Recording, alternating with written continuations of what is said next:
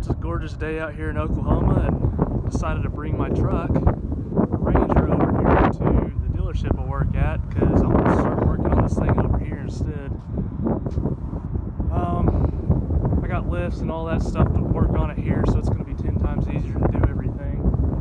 Um, I'm actually fixing to take this thing over to the detail shop, which is over there, and I'm going to power wash everything because it's pretty grody underneath there.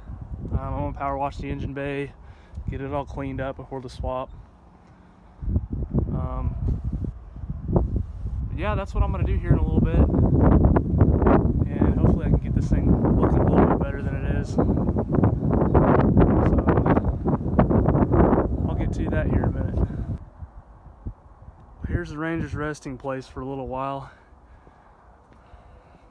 Got her all power washed. Looks a whole lot better than it did.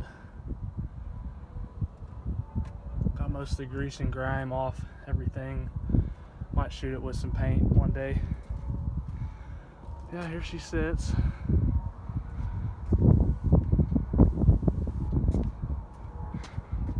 Power washed as much as I could with little time I had. I didn't want to go into detail with it since it's going to be sitting out here for a little while, but at least it's somewhat cleaned up now.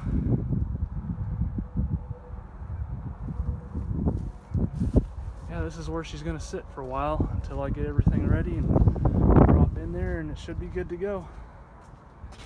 Thanks for watching guys.